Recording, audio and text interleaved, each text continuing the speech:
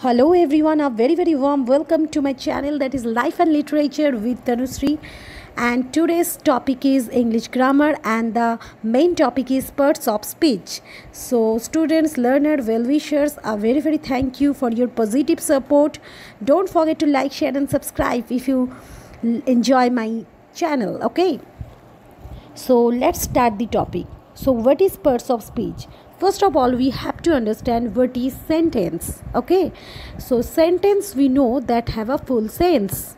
Yes. So while we are speaking anything, that is called a speech and while we are writing something that is a sentence yes so while we are writing our speech and there are so many parts in that sentence that is called parts of speech very simple very easy. And all the parts of the speech are interrelated with each other. Okay. So in english grammar this parts of speech is very very important because if you have no clear idea about parts of speech then you cannot form a sentence. And this class is necessary for class nursery to higher level.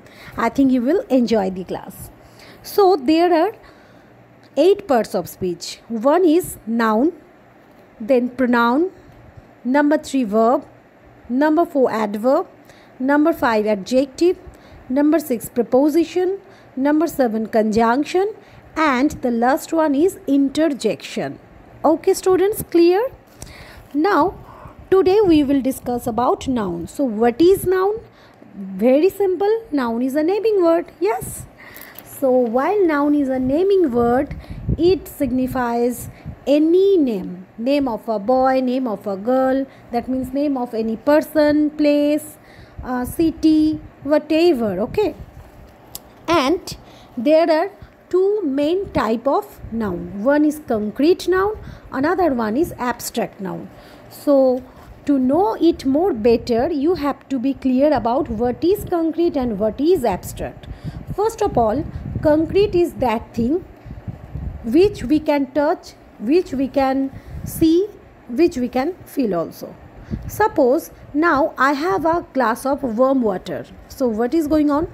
I can see the glass. I can feel the warmth. Yes and i can also count that yes there is one glass of warm water. So this is a concrete thing. We can touch it. We can see it and what is abstract? Nothing. Opposite of, of it. Abstract is which i cannot see but i can feel. Suppose my love for my nation is appreciable. So the love the affection the emotions which only our soul our heart can feel but we cannot see it. We can see it with our behavior with our attitude okay?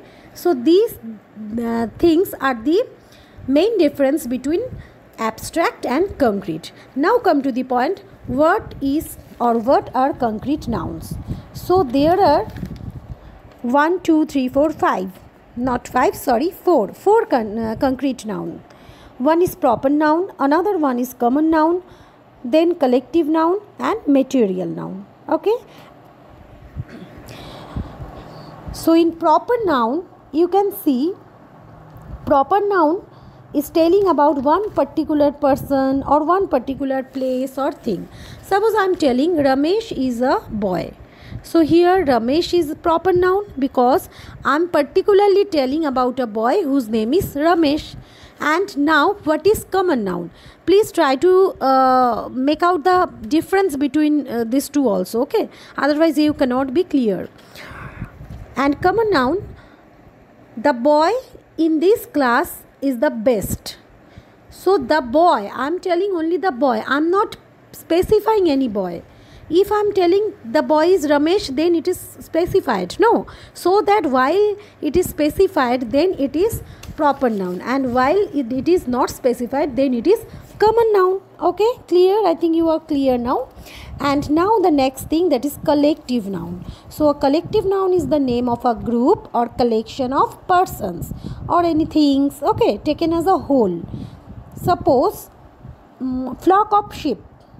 Okay there are so many sheep and the collective uh, sheep are called flock of sheep.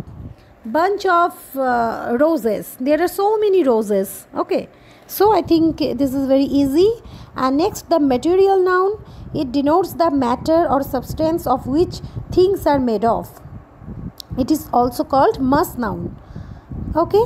River is a common noun but water of which it is made this is material noun. Clear? Mutton. Mutton is what?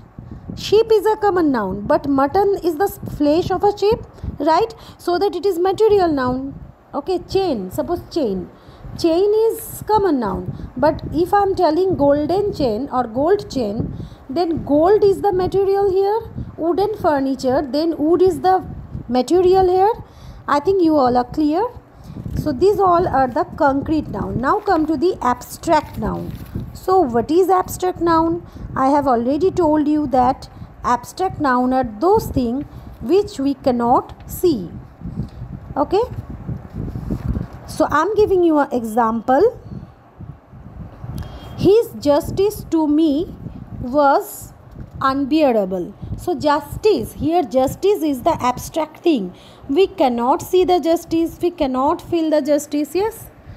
I love my nation. Here love is the abstract noun okay? Love can be used as noun verb and everything. So here i love my nation.